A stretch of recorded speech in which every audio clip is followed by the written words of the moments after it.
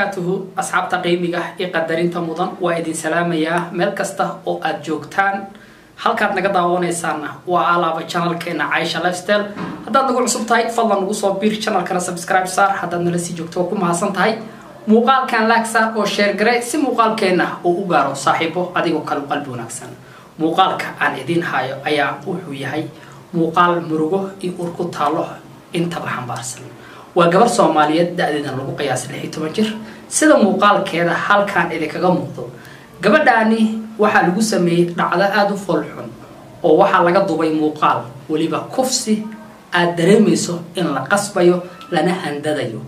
Waxaa sidaan yeelayo waa saddex dhalinyaro soomaaliyeed ah waxayna arrintaani foosha xun ka dhacday dureedka magaalada baydhabo. Gabadhii ayay halkaasi keensadeen kadibna muuqaal ayay ka duubeen midna wuxuu ku sameynayaa galmo xaaraan ah. Midna garbaduub ayuu gabadha u hayaa innaa lilaahi wa innaa ilayhi raajicuun. Waxaan maqli jiray xaqa si kasta oo loo dadaboolo feeraha ayuu ka dilaacaa. Gabadhan masaakiinta ah muuqaalka sida aad ka arkaysaan. Marna waxaad moodaa inay raalli ka tahay waxa halkaasi ka dhacayo marna waxaad moodaa inay qasab tahay maadaama muuqaalka aysan raalli ka ahayn ee laga duubayo garbadub ayuu u hayaa mid midna waa uu kufsanayaa midna muuqaalka ayuu ka duubayaa kaamirada ayuuna ku hor cayaarayaa halkaana xaqii ayaa ku dilaacayo wixii ay qarqarin lahaayeen ayaa bannaanka yimid. Haddaba muuqaalkan ayaa baraha bulshada soomaaliyeed dhammaan wada qabsaday qaabab kala duwan ayaan looga falceliyay. Haddaba arrinka la yaab kale ayaa waxay tahay in muuqaalkaani uu gaaray dowladda iyo al-shabaab intaba. Waxaase la sheegay in falkan foosha xun dhalinyarada sameeyey mid ka mid ah weliba kangalmada xaaraanta ah ku sameynaya gabadha gacanta lagu hayo taana ay sii dheertaa isla gabadhii falkan foosha xun lagu sameynayo in isla birito leh la toogan doono weliba la daldali doono. Sidaan filayo waa gabar guur soo martay. Waxaa kaloo la sheegay wiilka muuqaalka ka duubayo iyo wiilka garbaduubka u haya gabadhana in ay baxsadeen. Dadka qaar waxay sheegayaan in ay baxsadkooda ay ku galeen magaalada muqdisho lana baadigoobayo ilaa ayaga laga soo qabto. Waa muuqaal aada u xanuun badan. Sidaas daraad waxaan idinkaga cudur daaranayaa inaan idinla wadaagi karin muuqaalka gabar soomaaliyeed oo sharafkeeda iyo karaamadeeda iyo mustaqbalkeeda meel looga dhacayo. Laakiin waxaan idinla wadaagayaa wiilka soo xaqiijiyey in gabadhna gacanta lagu haayo aabbaheedna la weydiiyey in gabadheeda la xukumayo kadibna dhagax lagu dili doono. Bal mid ka mid a dhalinyarada soomaaliyeed oo akhbaartaasi inala socodsiinayo ayaan rabaa inaan isla daawano marka hore. Soo dhowaada kiiska gabadhan waa uu ka duwan yahay kiisaskii hore. Berri ayaa dhagax lagu dilayaa waxaana lagu xukumay dil baa lagu xukumay. Kiiskani waa sax oo kiisaskii hore wuxuu la wadaagaa kufsi baa dhacay muuqaal baa laga duubay. Laakiin wuxuu uga bedelan yahay kiiskan wuxuu gacanta u galay markii ugu horreysay ururka al-shabaab oo iyagu gacanta ku dhigay gabadha kufsiga iyo dhibka loo geystay iyo mid ka mid a raggii dhibka geystay. Laba ka mid a raggaasina waa ay baxsadeen oo ilaa hadda waa la baadi goobayaa.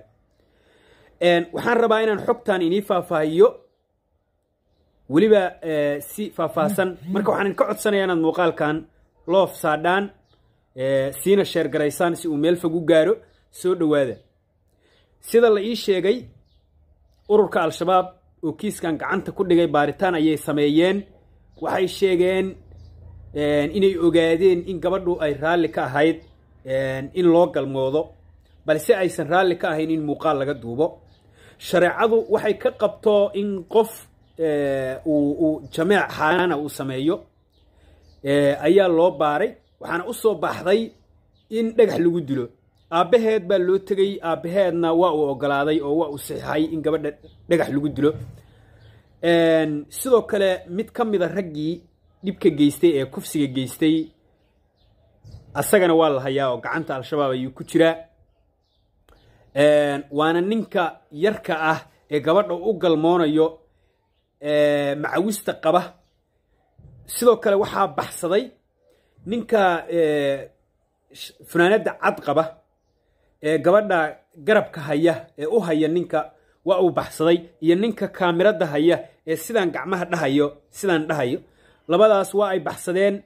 Waxaana la sheegayaa inay baxsadkoodii ku galeen muqdisho. Mar waxaa lagu sheegayaa buurdhuubo dowladdu waa baadi goobaysaa iyo maamulka baardheere ururka al-shabaab waa baadi goobayaan. Waxaa xiran waalidiintiis ayaa xiran labadooda waalid ayaa xiran. Marka waxaan idinka codsanayaa inaad u soo ducaysaan gabadhan maadaama kiiskani uu ka duwan yahay kiisaskii hore inaad u soo ducaysaan berri baa la tooganayaa magaalada bu-aala la yidhaahdaa lagu tooganayaa toogasho maahane rajmin baa la yidhahdaa rajmin dhagax baa lagu dilayaa. Marka waxaan idinka codsanayaa dad badan baa lahaa gabadhu waa reegado oo waa mareexaan gabadhan waa qabiilka la yidhaahdo raxanweyn wiilashuna waa qabiilka la yidhahdo raxanweyn waa dad ehel ah oo isku reer ah. Kiiska meesha uu ka dhacay unbaa baar dheere ah. Waxaan idinka codsanayaa inaad muuqaalkan loof saadhaan siina sheergaraysaan si uu meel fog u gaaro. Daawadayaasha qiimaha qadarinta mudan waan filayaa muuqaalkii murugada iyo urkutaalada xambaarsanah inaad daawateen. Haddaba wuxuu sheegayaa wiilkan dhalinyarada soomaaliyeed ah in wiilka falka foosha xun ku sameynaya gabadhii da-da yareed ee soomaaliyeed. Ama raalli ha ka ahaato ama yaysan raalli ka ahaanin gacanta lagu dhigay. Gabadhana gacanta lagu dhigay aabbaheedna loo sheegay gabadhiisa in la daldalayo ama dhagax lagu dilayo uuna raalli ka yahay. Ilaa ay hadda ma jirto wax war ah oo ka soo baxay familka gabadha ama raggii gabadha kufsaday wax waraa familkiisa oo ka soo baxayna ma jirto. Ilaa ay hadda ma jirto dowlad amba maamul goboleed ka hadlay arrinkaani foosha xun ama al-shabaabba. Si kastay ahaato waa arrin aada iyo aada qaracan iyo murugo iyo uurku taalla u xambaarsan gabdhahayna soomaaliyeed muddooyinka ugu dambeeyey waa kuwa dhibana u ah qaar ka mid ah ragga soomaaliyeed. Kuwa kufsada kuwa jir dila kufsada kuwa kufsada muuqaal ka duuba kuwa kufsada weliba dila intaba haddaba daawade aan su'aal ku weydiiyey haddii aada la kulmi lahayd raggaasi falka foosha xun ku sameeyey gabadhaasi da-da yar ee soomaaliyeed amba raalli ha ka ahaato amba ha ahaato mid la qasbee maxaad ku xukumi lahayd. Haddii aad ahaan lahayd qaadi maxkamad jooga. Ee lagu yidhaahdo raggan dhibaatadan ayay ku sameeyeen. Weliba muuqaalkii markhaatiga noolka ahaana ayaga ayaa gacantooda isaga duubay. Maxaad ku xukumi lahayd. Qaybta commentiga ayaad ra'yigaaga nagula wadaagi kartiin. Waad ku mahadsantii daawashada muuqaalkan. Haddaad nagu cusubtihiinna fadlan janalka subscribe saara. Haddaad nala sii joogteenna waa idinkaga mahad celinayaa muuqaalkan laag saara oo sheergareeya si muuqaalkan uu gaaro saaxiibo adigoo kale qalbi wanaagsan. Muuqaalkan mid lamida intaan kulmi doonana fii amaan illah